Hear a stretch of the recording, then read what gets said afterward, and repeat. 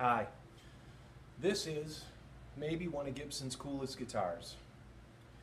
It is a Trini Lopez and it's a 335 meets a Rickenbacker meets a Firebird.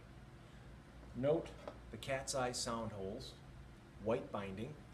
Note the Firebird headstock with nickel Klusons. A really cool look. This one is probably the cleanest one we've ever seen. Now for years people looked at these guitars as not being a 335.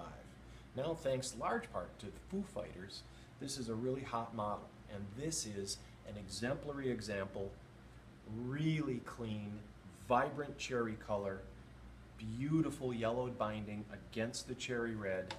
It's sharp, it plays well, a big neck, real big up here, nice and solid down there, not your tiny little neck like you got in 68. This is a 66, still nickel tuners, and a remarkable value. Hurry up.